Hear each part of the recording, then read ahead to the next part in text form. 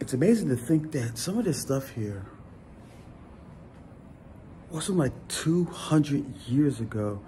And it, it literally transports my mind, you know, backwards like, wow, I can actually see something from almost 200 years ago and it's preserved. It's still in good uh, shape for the most part.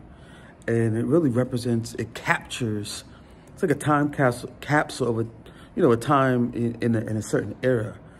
And then it transports me like 200 years from now, like what will be in the museums? Like what would be captured? You know, here goes the dress right here of a certain time, certain age. And it just makes me think like what's going to be captured or preserved 200 years from now. And it kind of, in a lot of ways, it helps you, helps me like for long-term planning because it shows you how, how short your life really is. Um, and we're just here for a blip, a blip, a blip in time. So this is, this is amazing. This is amazing.